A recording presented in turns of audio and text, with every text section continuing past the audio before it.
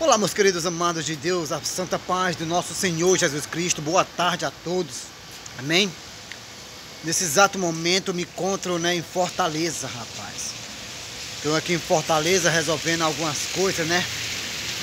E... Mas logo, logo vamos voltar imediatamente para Monsenhor Tabosa, né? Vai ser equivalente seis horinhas de viagem, só para ficar bom, não é isso?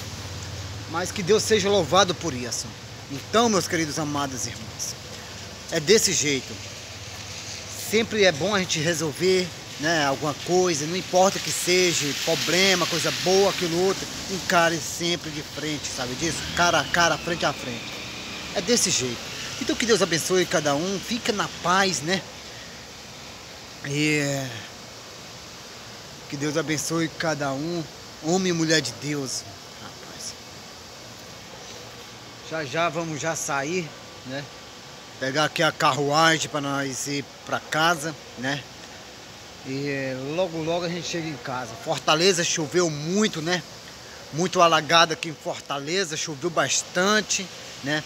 Com certeza é perigoso até mesmo, né? Ficar frio, né? Bater aquele friozinho gostoso. Mas o tempo tá abafado, né? Com certeza pode cair um temporal, né? E logo mais à noite pode cair uma chuva, não é isso? Então, meus queridos amados de Deus, fica com Deus. Deus abençoe cada um em nome de Jesus. Graças e paz.